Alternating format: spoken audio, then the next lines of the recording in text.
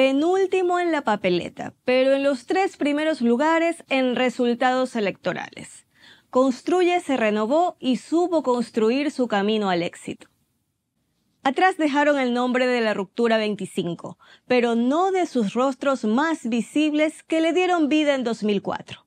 Luego de pelearse con la Alianza País de Rafael Correa y ya con la fama de los forajidos que derrocaron al presidente Lucio Gutiérrez. Juan Sebastián Roldán, Norman Wright, Iván Granda, Alexandra Ocles y María Paula Romo, la más recordada, sobre todo por la ex asambleísta Yajaira Urresta, por su paso por el Ministerio de Gobierno y por su rol en las protestas de octubre de 2019, por el que dos años después fue destituida por la Asamblea Nacional. Su primer intento presidencial con Norman Wright en 2012 lo dejó mal parado y en 2014 el CNE le quitó su personería jurídica.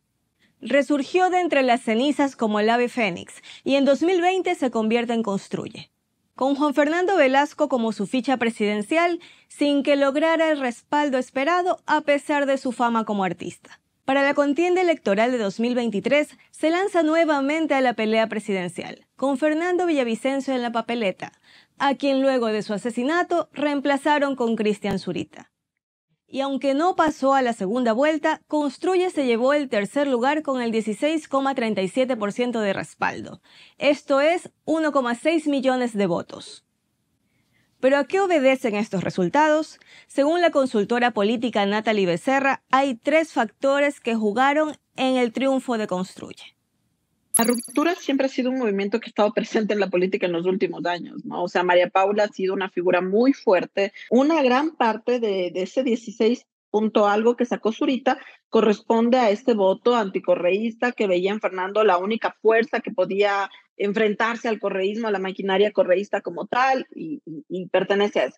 Pero existe también un porcentaje de gente que no necesariamente es anticorreísta, pero que vio con dolor, con ira, con solidaridad lo acontecido con Fernando Villavicencio. Y como te digo, también ahí jugó mucho el tema de cómo se movió la campaña. Victoria de María Paula Romo.